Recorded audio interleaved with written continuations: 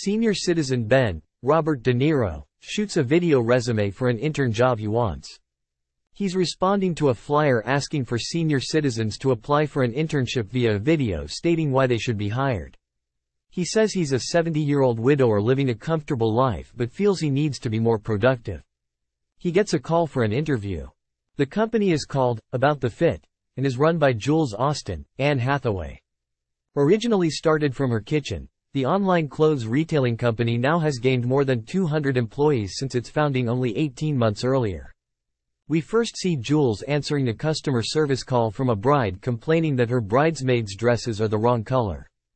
Jules takes full responsibility, is very helpful, promises to fix the glitch and even gives her own number to the bride. She moves around in her office on a bike, rarely has time to stop and celebrate co-workers' birthdays in the office or have a complete conversation with her mother. At his interview with a series of people, Ben reveals that he used to work for a company that made phone books. The interviewer, Nat Wolff, also asks him where he sees himself in the next 10 years and then realizes the question really doesn't apply.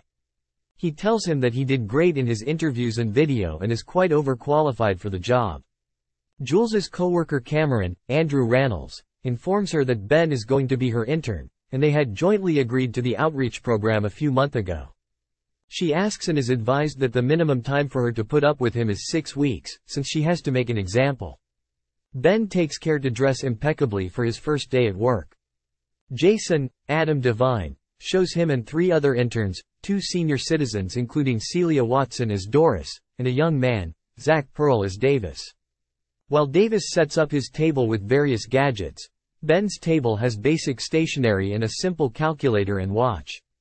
The other employees are friendly and help him start up the computer. He is informed by Jules's assistant Becky that he has a meeting with her at exactly 3.55 p.m., and he should be prompt because there's another meeting at 4 p.m. Becky also tells him to talk fast and blink a lot, because her boss is disturbed by people who do not. In the meeting, Jules informs him